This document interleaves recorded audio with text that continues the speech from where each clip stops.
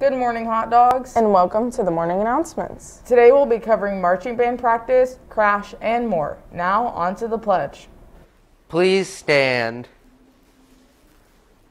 I pledge allegiance to the flag of the United States of America and to the republic for which it stands, one nation, under God, indivisible, with liberty and justice for all. Marching band practice will be held on Tuesday and Thursday of this week. It starts at 4 o'clock and it's not too late to join. We have a second drawing for a mental health awareness t shirt, and the winner is. Stephanie Aguilar, you can claim your prize in student services. Mrs. Hale is busy trying to get the library organized and ready for normal use next school year. She has passed out a lot of notices of items that are currently missing. Please bring them back ASAP to avoid having to pay to replace them. If you no longer have the item, please see Mrs. Hale in the Media Center. She will give you an amount that it will cost to replace the item. You must pay Mrs. Cheek in the bookstore by cash, check to the Community Schools of Frankfort, or by credit card. Let's work hard to locate those items and get them turned in. Graduation is coming up, and if you or someone you know might be interested in purchasing graduation gifts or a bouquet of flowers for your FHS graduate, you can check the link in the chatter. Now to sports and weather.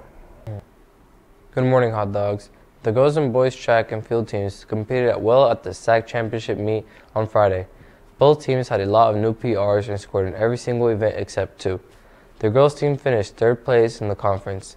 Top three finishers include Macy Sterrett, second in the 100 hurdles, Karina Alanis third in the 1600 and third in the 3200, Kenya Garcia second in the discus, and Lorena Perez second in the high jump, and third in the long jump.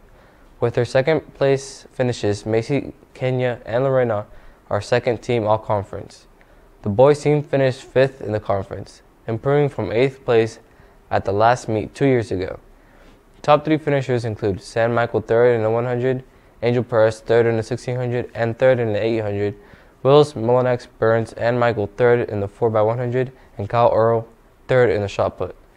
Hot Dog Golfers posted a season best 18 hole score of 398 to place 7th in the Sagamore Conference tourney at Rocky Ridge Golf Course Saturday.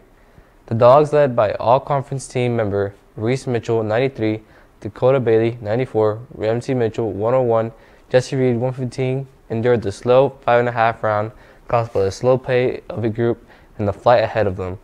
Hot Dogs host West Lafayette and McCutcheon at home on Thursday this week. Girls tennis lost to Southmont 5 0 on Friday night. On Saturday, the team finished last in the 2021 Hot Dog Invitations. In the first round, Frankfort lost to Carroll 4 1. Raylan Mitchell got the win for the Dogs. Frankfort played Yorktown in the consolation match and lost 4 1. Carly Santos got the win for the Hot Dogs. Girls tennis plays at McCutcheon today to finish out the regular season. There will be a call-out meeting for anyone interested in playing boys soccer next fall this this Thursday morning at 7:30 in room 105. See Mr. Breller if you're not able to attend the meeting. There will be a cross-country call-out meeting on Tuesday, May 18 at 7:30 a.m. during community in room 403 for anyone who's interested in running cross-country next year, next fall. Anyways, that's all for sports. Now to us to send over weather. Morning, hot dogs. There is cons- considerable cloudiness with occasional rain shower. There will be a high 60, 67 and low 58 degrees. Winds will be at 10 to 20 miles per hour. It will be pretty cloudy with a showers and there is a 50% chance of rain. That's it for weather and back to your host. Please fill out the Google form sent by Mrs. McDonald to nominate yourself or your classmates for prom royalty.